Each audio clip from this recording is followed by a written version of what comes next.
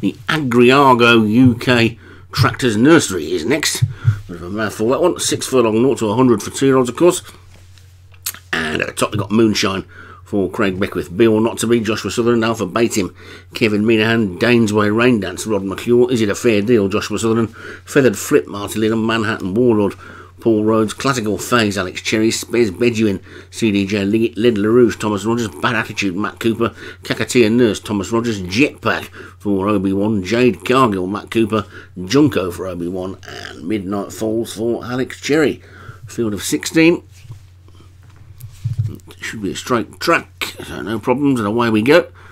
And who's going to be the one to take them along? It looks like it's going to be Manhattan Warlord Rodder on the far side, who's got the lead. Bad attitude, another one likes to go from the front.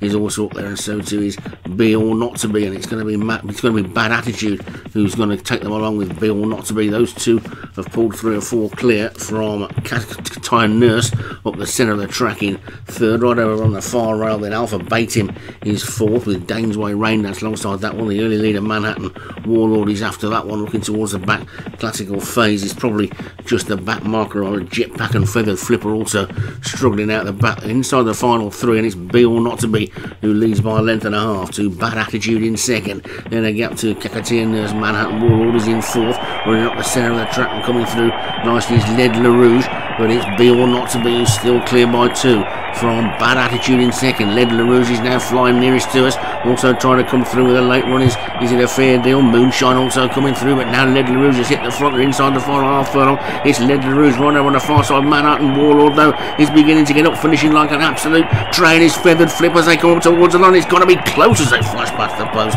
Is it a fair deal and feathered flip in a photo? Feathered flip coming from absolutely nowhere. I'm sure he would have won in a few more strides and may have won anyway.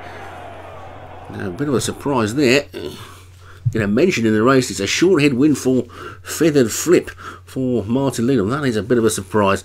In second place was Is It a Fair Deal for Joshua Sutherland. Manhattan Warlord for Paul Rhodes was third. Moonshine Craig Beckwith was fourth. And Led LaRouge for Thomas Rogers was fifth.